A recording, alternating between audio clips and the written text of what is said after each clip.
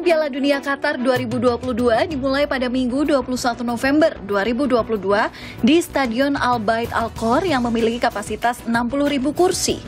Anggota boyband Korea Selatan BTS Jungkook berduet dengan penyanyi Qatar Fahad Al-Kubaisi dengan membawakan lagu berjudul Dreamers yang merupakan salah satu lagu resmi Piala Dunia 2022.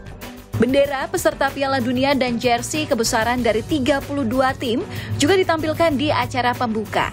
Secara berurutan juga ditampilkan tim song Piala Dunia dari tahun 1998 hingga Piala Dunia 2022 yang berjudul Haya Haya.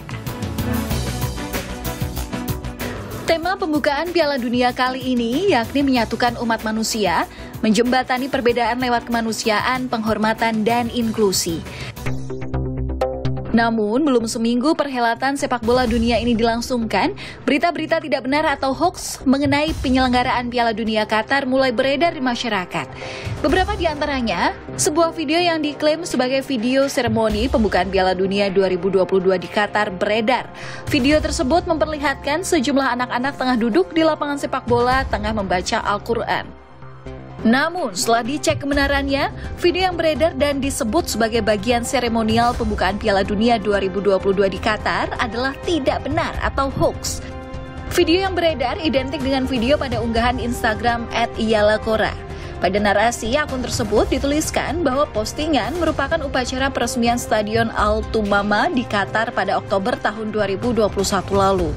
Stadion tersebut merupakan salah satu venue untuk pertandingan sepak bola Piala Dunia 2022 di Qatar. Acara peresmian stadion tersebut dilakukan dengan pembacaan Al-Quran. Pada pencarian laman YouTube juga ditemukan video yang identik yang diunggah oleh channel MyTube Gallery pada 23 Oktober 2021.